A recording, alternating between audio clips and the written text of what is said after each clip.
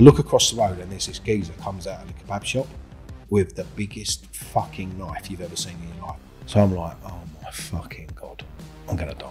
So I've fucking grabbed him. I've got down and I've just gone ra- straight to the floor and I've gone, I'm working. Shut the fuck up. I'm working. Not one window of the coach was left by the time we got there. Leeds were throwing things at it. I've had a fucking enough of this. So you think you're accusing the I'll all right. Come on, me and you will have a fucking. Come on in. Me and you, let's have it. James Bannon, thank you very much for coming on the show, mate. Pleasure. Mate, your book's outrageous. Thank you. Such such a good book. I was just talking about how like constantly I was reading through it and freaking out. Yeah. Like, what the fuck's going to happen next? What's what's Jim from Wandsworth going to do next?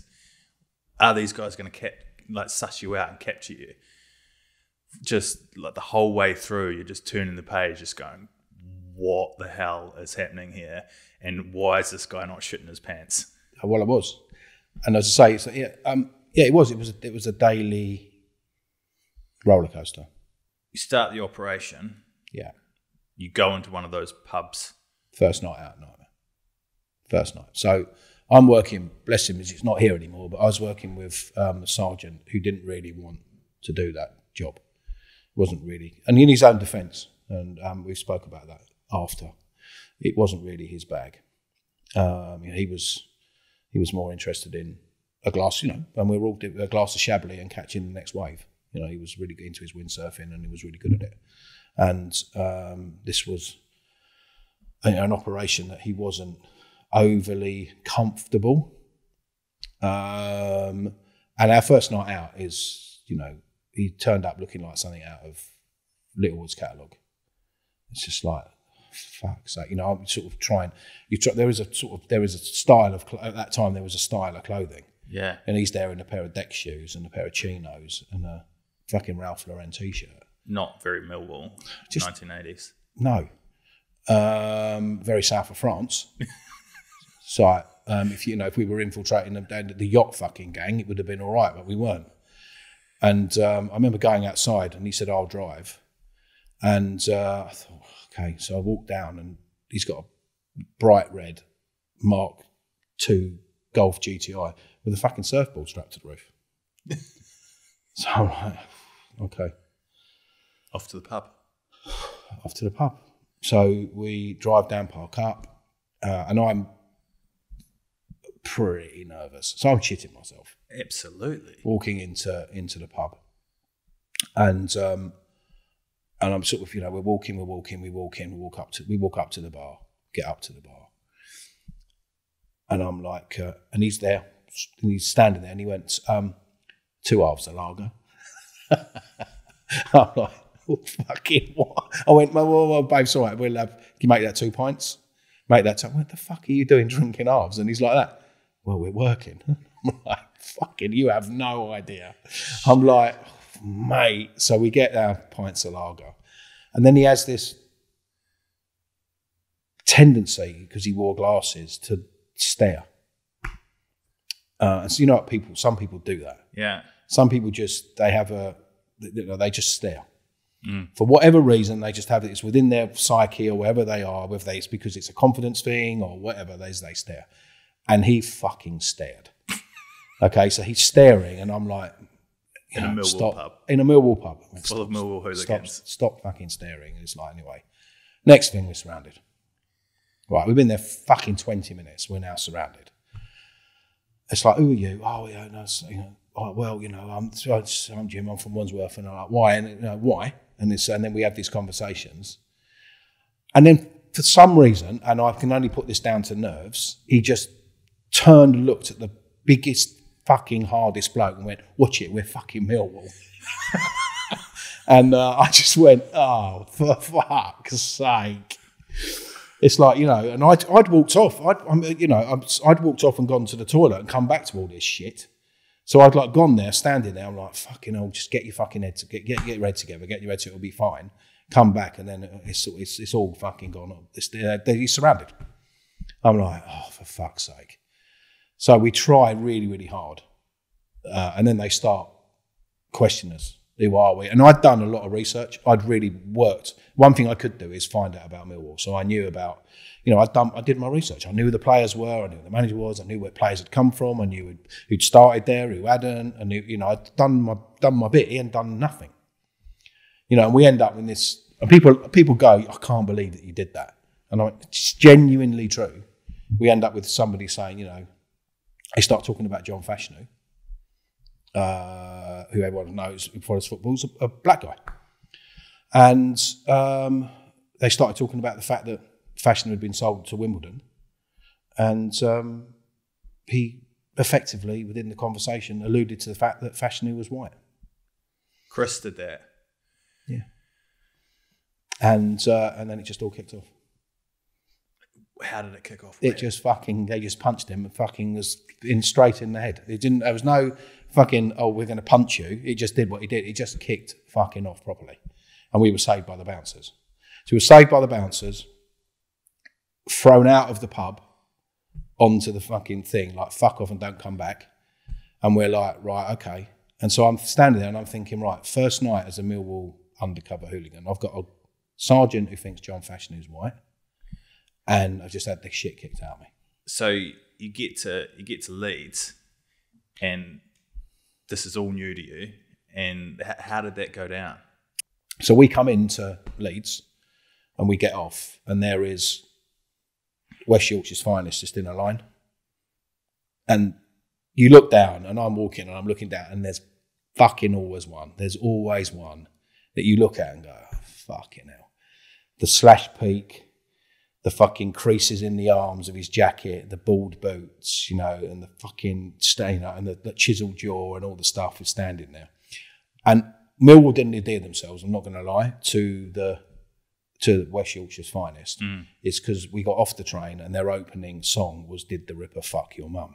Oh, oh, jeez, that is aggressive chanting. That's aggressive. But Millwall are Millwall are famous for their aggressive chanting, they, and they still do. Because Ev- at that time, everyone was aggressive. It was it was aggressive, but it was it was like making that it was it was just putting your marker down. Is the way that you would look at it. And this guy took quite rightly. I mean, who knows? Maybe maybe who knows? it's just, you know, but he really did take exception to that, and um, and he waded in. Biggest fucking mistake of his life.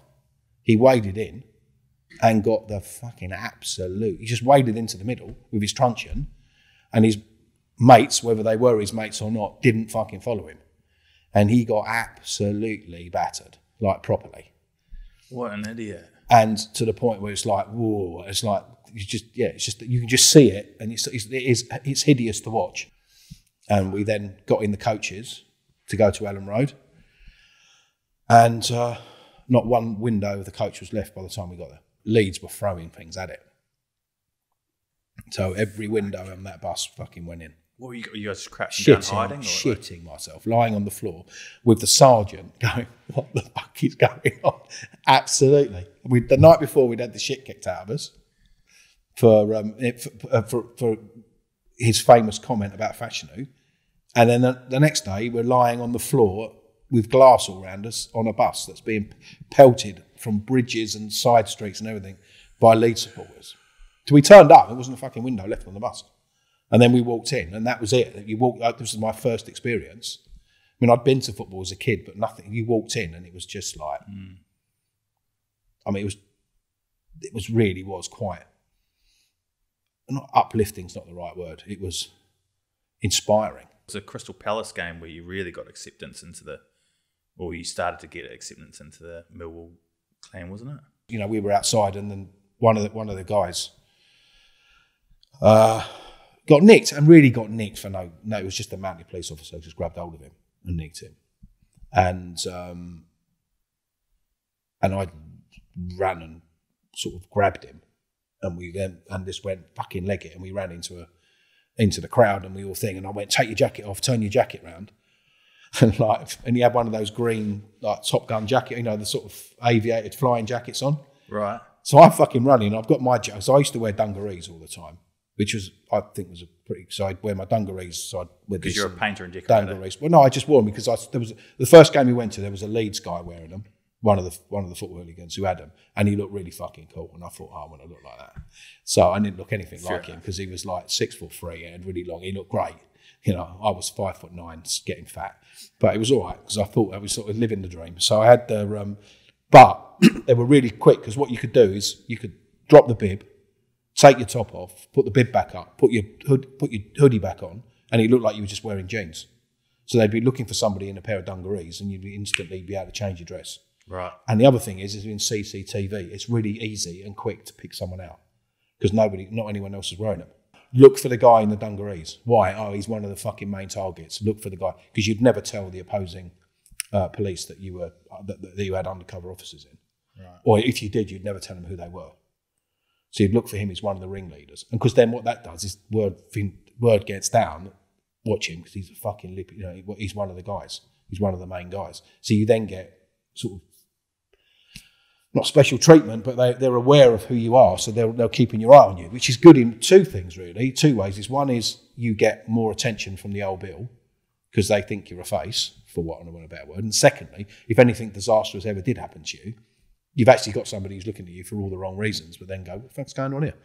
So, but I turned round and the Martin has ch- flipped his jacket around. It's fucking fluorescent orange.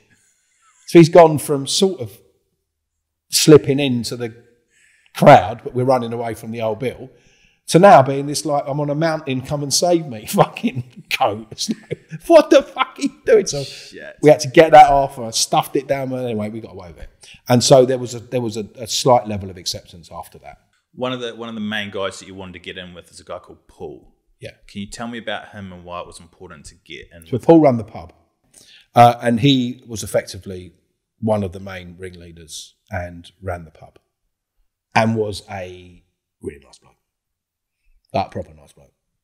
Um, but he would organise, you know, and was part and parcel of uh, one one of the, you know sort of the Millwall top boys, really, for want of a better word. And um, we wanted to get in with him. So our plan for that was we started going in there at lunchtime um, and having a couple of beers and a really stale, shitty sandwich, and then leaving in painters and decorators um, overalls. Because no one goes in there at lunchtime. You only used to go in, in that pub at lunchtime because it was a, a football pub. So, and then we got in with the with the barmaids, and one was his wife and one was his sister-in-law. And ultimately, we ended up in a scenario where we just went in and went in and went in, and so we got known. So when we turned up for the first Millwall game, and we walked to the bar, and everyone looked at us, the barmaid just went, "Jim, how are you?" It's like, "What do you want? Do you want your usual?" I went, "Yes, please." No one batted an eyelid Smart. because we'd done two months of quite hard work of going in there at lunchtimes. You mentioned earlier about the fear of also um, uh, someone IDing you as a cop that knew you. Yeah, You were actually at a game and that happened, like a an actual cop. yeah. So there was a guy I was in the cadets with, um, Simon. So I was in I was in the cadets with him, and he was um, he he so he was three years three three he's three and a half years. He'd actually passed his sergeant, so he was now a sergeant. And he I walked in and he saw me, and this was like just the start of the next season, and. Um,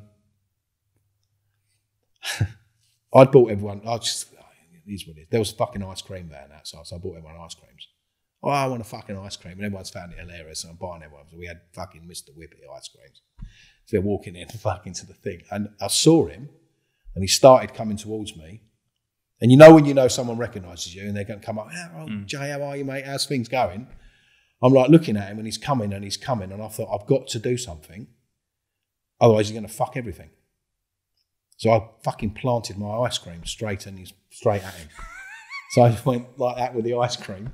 I said, "What the fuck's this bloke want? Funk done him with the ice cream." All- So I've fucking grabbed him. I've got down and I've just gone ra- straight to the floor and I've gone, "I'm working. Shut the fuck up. I'm working."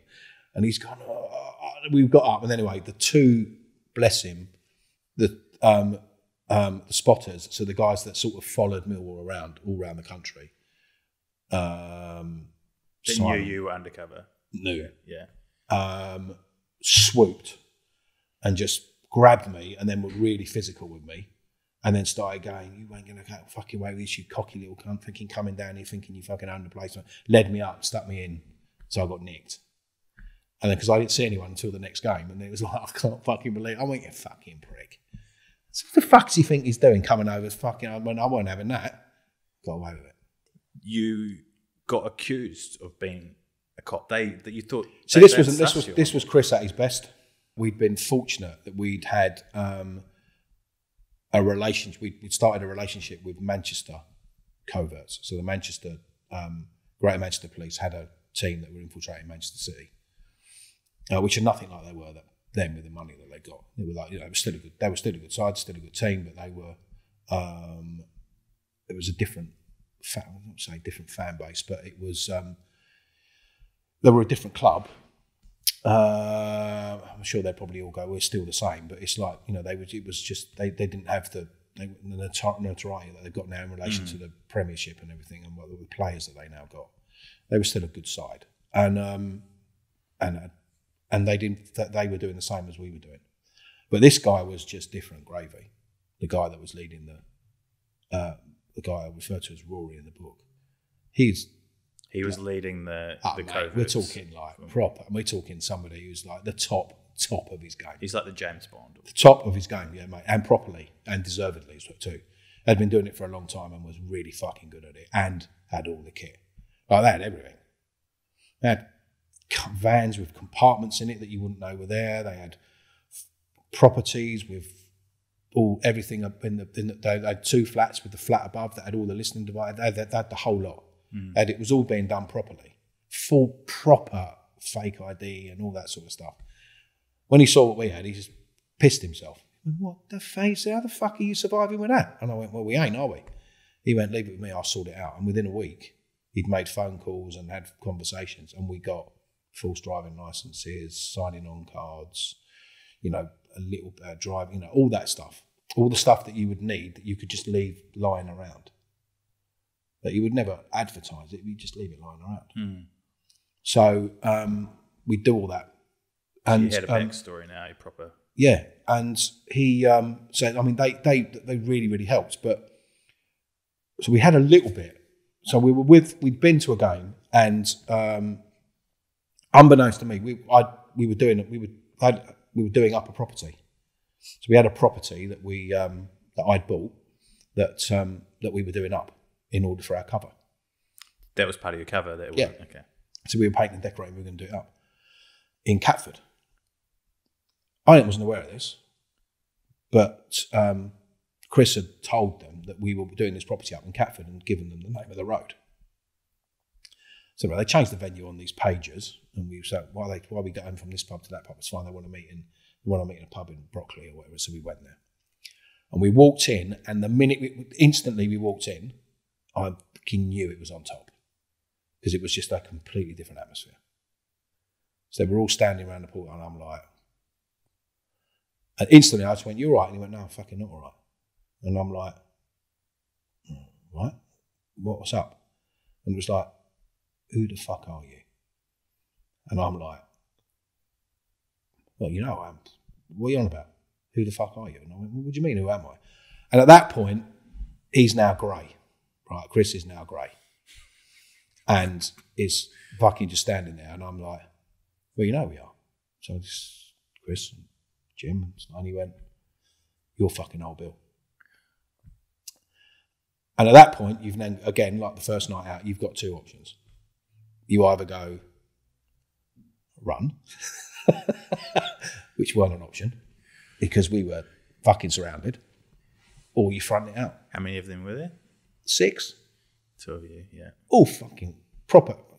Any any one of those would knock the shit out, kick the shit out of me. So imagine what Chris was like. He was like, fucking got no chance. So I'm like, I mean, I might be, I might be, I might get a couple of punches in, but, um, and that was the fear is that you know because people do get very brave when it's not the people who hit you, it's the hanger hangers on you got to worry about who run in and then kick you in the head and then run out, and then the other one who comes in and stamps and jumps up and down on your head and then runs out. It's not initially the guy because the guy lit you and then leave you. It's all what happens with all the other hanger-ons hmm. who want to make a name for themselves, so they all pile in. So I just went in my head. I went, "What the fuck are you talking about?" said, You're old Bill. And I went, What the fuck do you mean? And he went, You weren't, we came down your house. And I said, What fucking house? He said, The house you're meant to be doing up in Catford. And I'm like, What fucking house in Catford?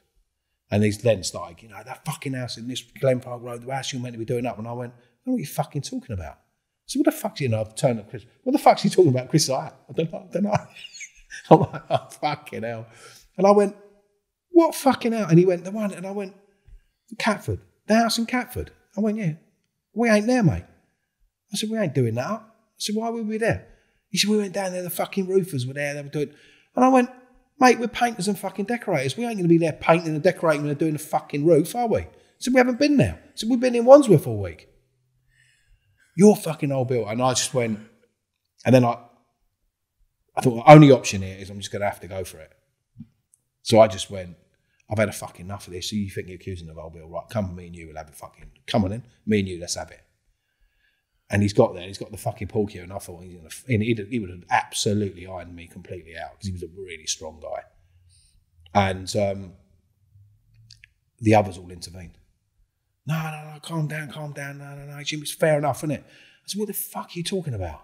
So I then stormed off outside, and I'm now, I've gone out of the pub, fresh air, walked out, absolutely, arse is hanging out like a windsock at this point. I'm now absolutely shitting myself. And I've left silly bollocks in there. So I'm like, what the fuck is he going to say? Oh my god. I'm like, oh my God. Anyway, after about what felt like a fucking lifetime, which was probably only about 30 seconds, Dave and Martin and the other guys come out. And he went, and he's walking up towards me, and I'm like, oh. And he just put his hand out and he went, I'm so sorry, mate. He said, just with everything going on, we can't be too careful. And then it was at that point when I knew I'm going to have to do something that is going to convince them because there's still that element of doubt. So they all started playing. There was a Dave Lee Travis used to do this thing on Radio 2 he was a, DJ on Radio 2 and he used to do this thing called Pot Black. And he would ask questions. And if you had a red ball, it was a one point question. And you'd answer the question, one point question, and they'd pop the ball. And then you'd pick a colour. So if you picked a yellow, it'd be two points. So it'd be a re- relatively easy question. If you picked a black ball, which was seven points, it was a really hard question. And they turned it into a arcade game. So it was Dave Lee Travis's Pot Black game, where they ask you questions. So you ask the red question, and then you can choose the colours on the machine as to what you want to do to, in order to build your total up. And we all, they all started playing it for beers. Whoever gets the least points, the, that gets the question wrong, get, buys the beers.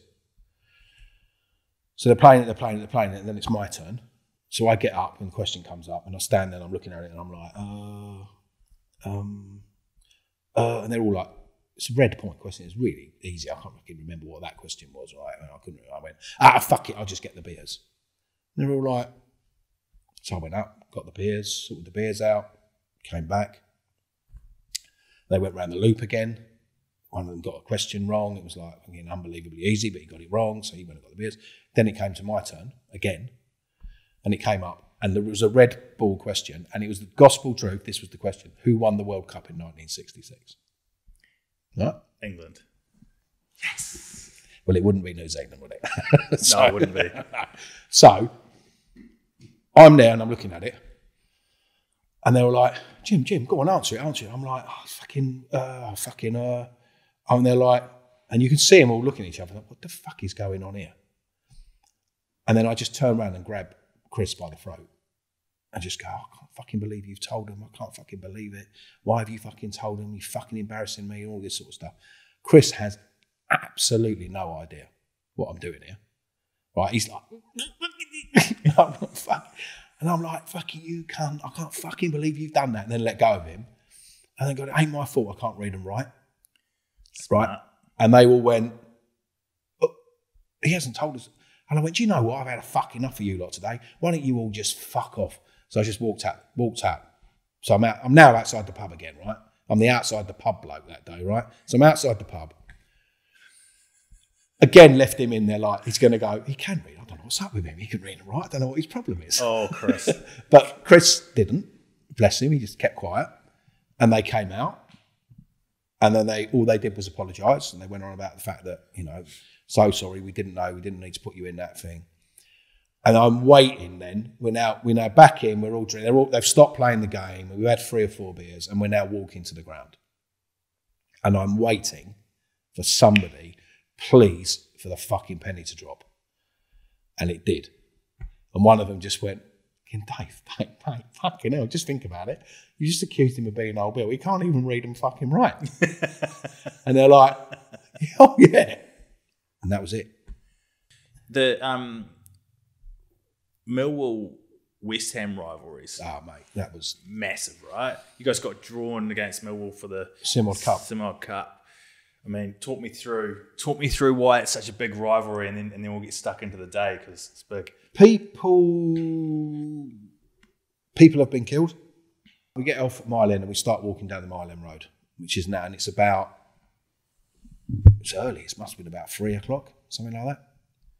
And there's 150 of us, and we're walking down the End Road. And I've not been West Ham before.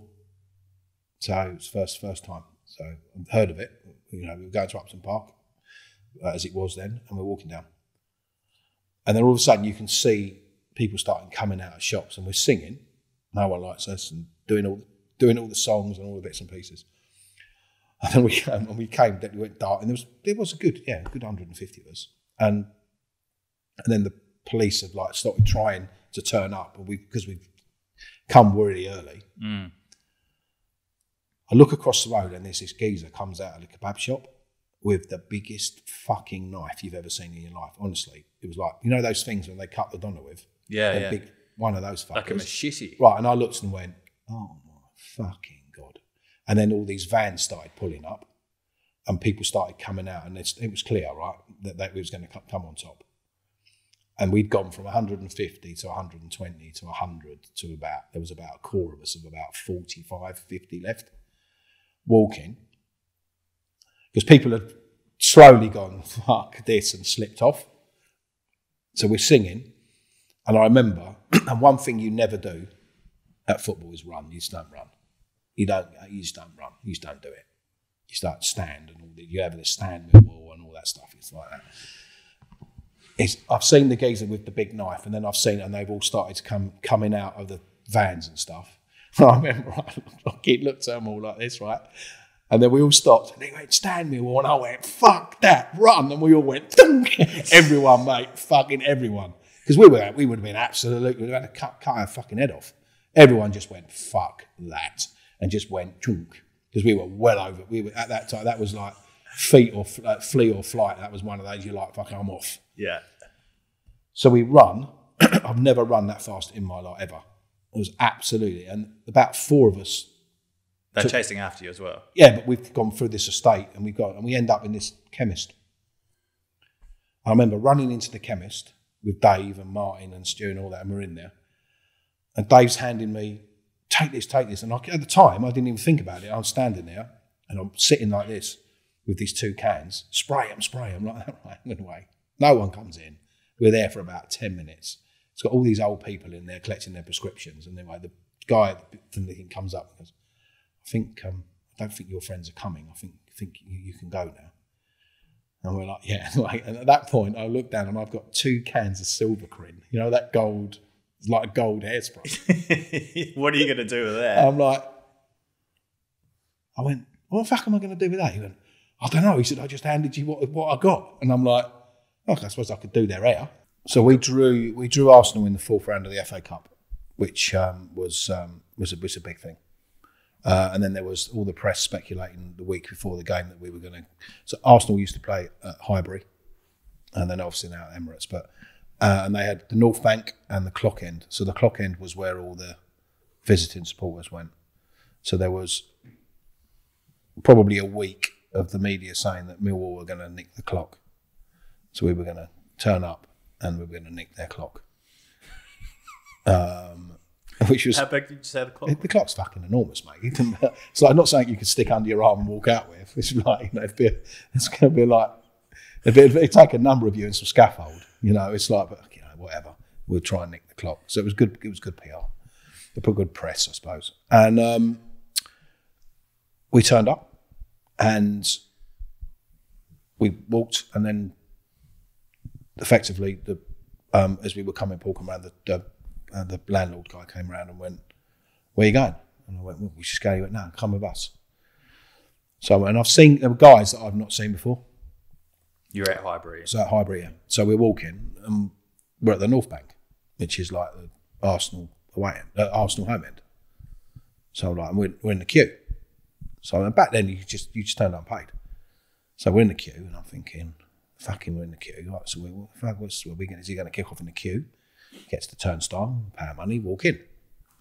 And fucking okay. So we walk in, start walking up the steps to the North Bank. I'm like, okay, right. What's that? We get up. Anyway, we are now standing in the middle of 8,000 Arsenal. Surround, I'm surrounded by 14, 15 of the fucking proper tastiest geezers I've ever seen. And there's me and From Chris Millwall. and Chris. Yeah. 15 of 15 fucking top geezers, right? So top I'm like, geezers by like top top, Top- of the Millwall firm. fucking geezers, right? So I, and I, mo- most of which, I, apart from the landlord, I've not ever seen before.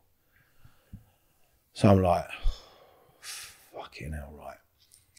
So we're standing there, and then the geezer is obviously clocked. I'm a little bit nervous, right? He went, "Son, don't worry, about it. You'll be fine. He went, You'll be fine." He went, he had this leather coat on. Lifted his we went, "Stay by, by me," and he's got a six-inch stiletto knife Shit. like this. So I'm like, oh my fucking god, I'm gonna die.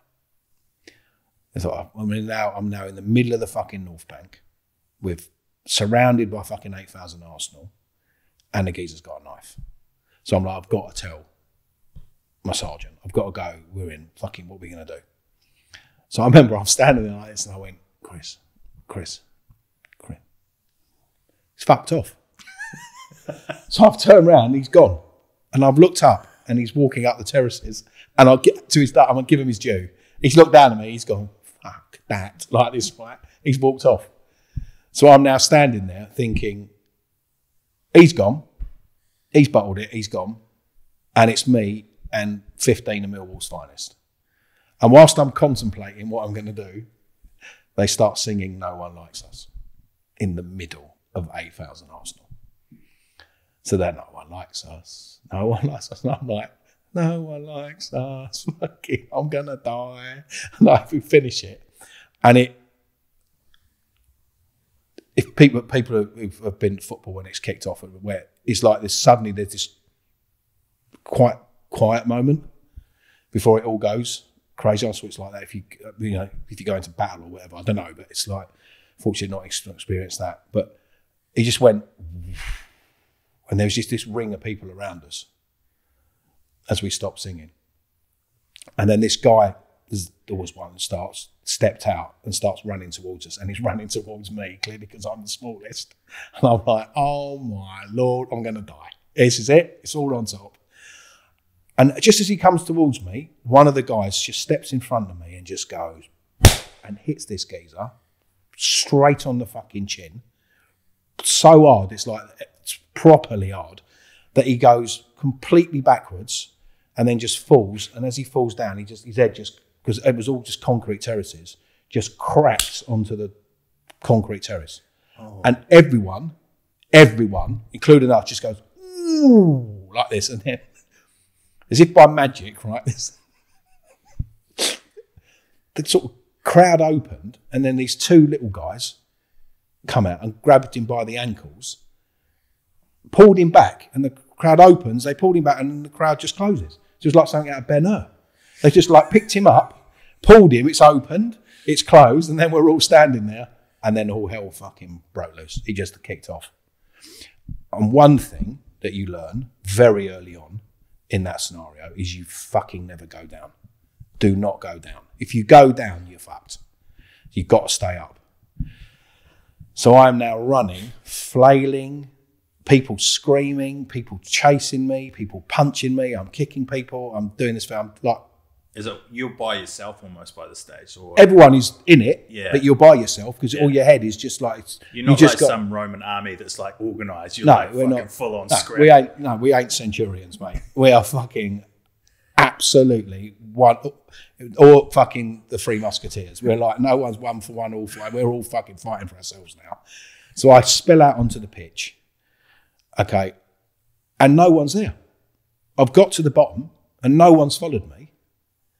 And I turn round and they're all fucking screaming and shouting at me, and then I get nicked. So all this is all this is going on. You've got two mates that have been sussed out. Um, you two are still undercover. How do you get out of this situation? So the operation concluded on a phone call. So we were just sitting in the office or our, our house that we had, and uh, phone rang. He answered it. He knew it was coming, and he said, "Oh right, okay. Oh, I'll let the guys know." He went, "Oh right, okay. Well, really? Oh right, fine." And then he just turned around and went, "Boys, it's, it's done. We're, we're finished." And I'm like, "What the fuck are you talking about? Done? Finished what?" He went, "It's finished. The operation's over." So I'm like, well, "What about all the evidence?" He went, "I don't." know. He said, "They're just they're just stopping it." Thank you very much for coming on the show. It's been a hell of a story. It's a pleasure. Hell of a story. And um, your book, Running with the Firm, you can get it wherever anyone sells any books. I got it from Amazon. Hell of a good read.